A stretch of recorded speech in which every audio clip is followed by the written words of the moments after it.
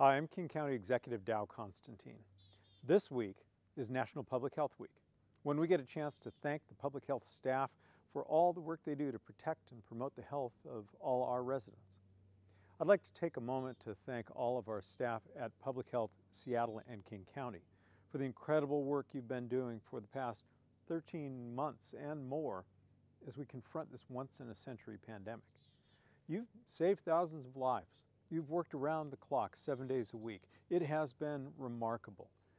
And I also want to thank everyone in public health who's continued to do the regular jobs under extraordinary circumstances, uh, from preventing HIV and STIs to family planning to environmental health and so much more. You have kept on doing your best for the people of King County, and I'm grateful for that.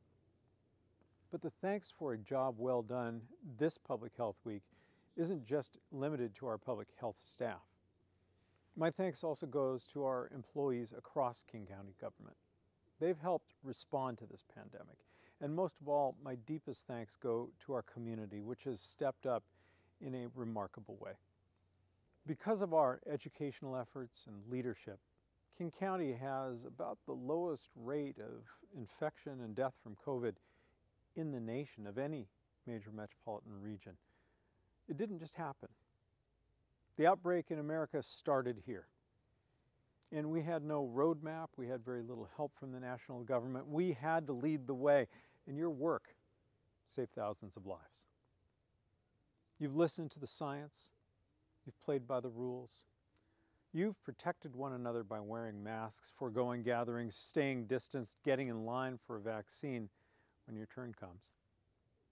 Your sacrifices have meant the world to our community, so I want to dedicate Public Health Week 2021 to you.